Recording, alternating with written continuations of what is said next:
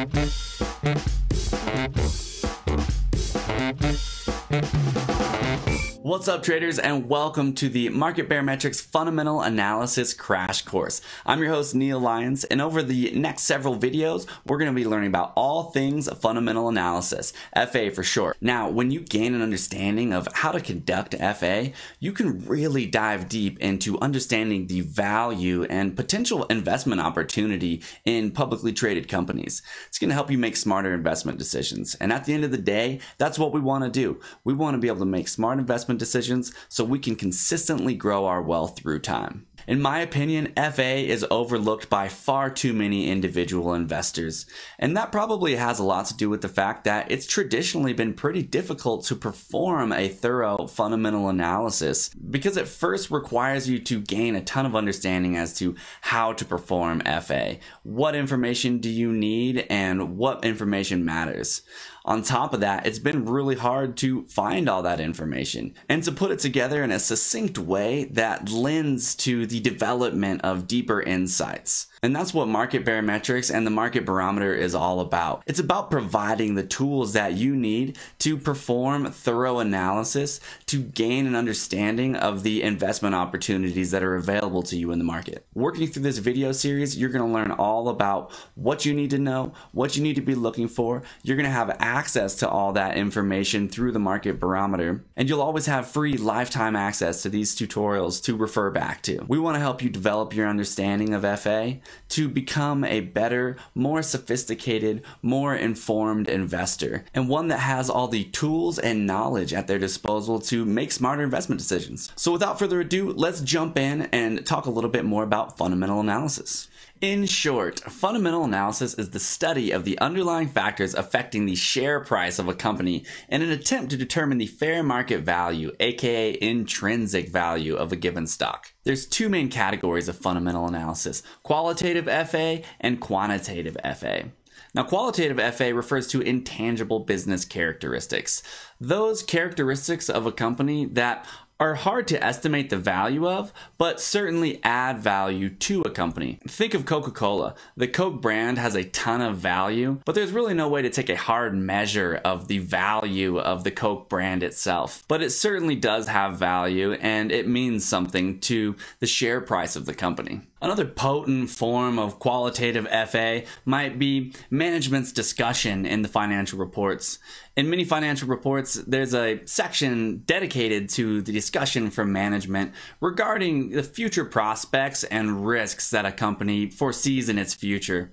There's no real way to measure the value of potential future scenarios, but they certainly do affect shareholders' perceptions of the value of a company, which in turn influences share price. Quantitative analysis, on the other hand, refers to measurable numerical characteristics gathered from a firm's quarterly and annual financial reports. These financial reports have a ton of different components, but a few of which are the financial statements, specifically the income statement, balance sheet, and statement of cash flows. And we're going to be utilizing those three financial statements to do most of our quantitative FA. These statements are going to provide us with hard data, measurable statistical evidence as to company performance.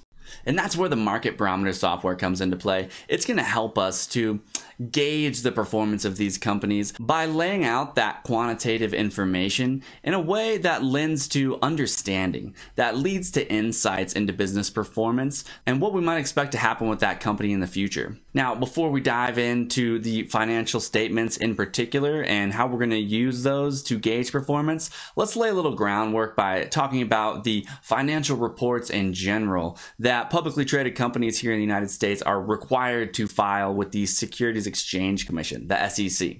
The first of the financial reports that we're going to talk about is the 10K. Now, U.S. public companies are required to submit their 10K filing once a year, so this is their annual filing with the SEC.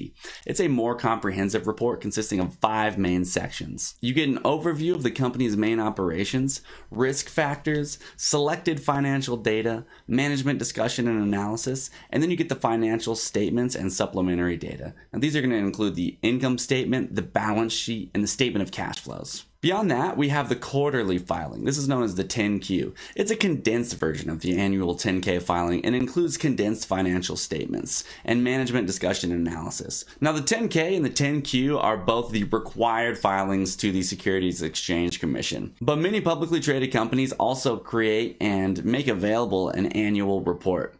Now, this report is generated voluntarily by a company. It's usually made available on their website, and you can think of the annual report as something of a brochure to keep existing shareholders up to date on the goings on of the business operations, as well as a way to attract new investors. So you'll often find selected financial data within the annual report, but realize that an annual report does not have any regulatory requirements or restrictions and is generally aimed at painting the company in a favorable light. So there are several components of each of these financial reports, but specific to this crash course, we're focusing on quantitative fundamental analysis. As such, we'll be focusing on the financial statements, specifically the income statement, balance sheet, and statement of cash flows. Each of these financial statements is going to give us a unique look into the current performance and financial state of a given publicly traded company. And when we put the various metrics from each of the financial statements together in different ways, they give us insights into the current financial condition of these companies. They help us to form a narrative as to the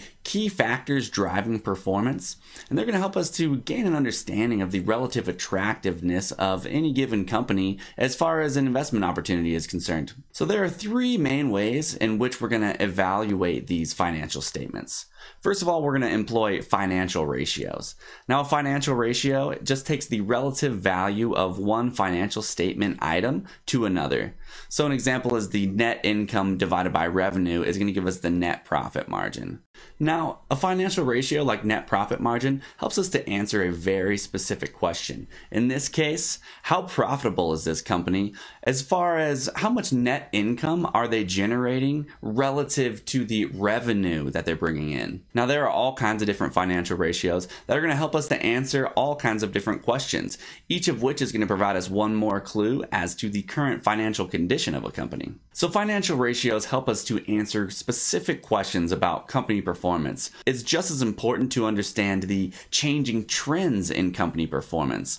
And that's the second way in which we evaluate these financial statements is through the trends. The trends in both the specific metrics from the financial statements and the trends in the financial ratios themselves. So, whereas looking at a financial ratio like net profit margin is going to help us answer a question like, how profitable is this company right now? When we look at the trend in that financial ratio over the span of several quarters, several years, we get a better understanding of is this company becoming more profitable or less profitable?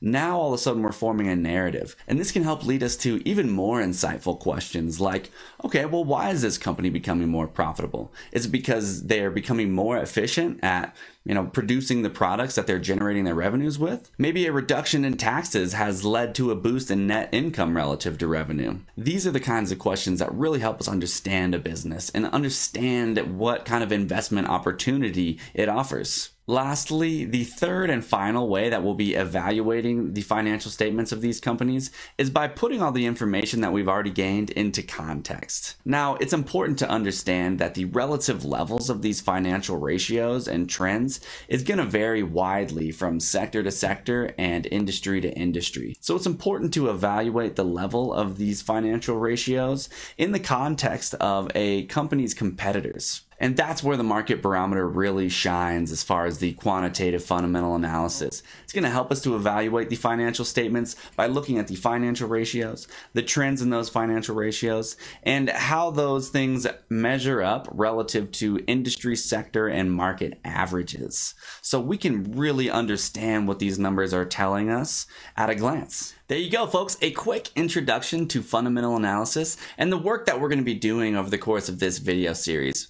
We talked about the categories of FA, qualitative and quantitative analysis. We also talked about the various financial reports that are required to be submitted by publicly traded companies here in the United States, specifically the 10K and the 10Q. In the next video, we're going to be talking about the financial statements that are one of the components of the financial reports, specifically We're going to go over the income statement, the balance sheet, and the statement of cash flows. We're going to talk about the structure of these statements, the information that's made available on these statements, and how we're going to use that to help us determine the value of these companies and to make smarter investment decisions. So if you guys like this video, don't forget to subscribe to the channel, hit that like button, comments down below, and until next time, thanks for tuning in. We'll see you guys in the next video.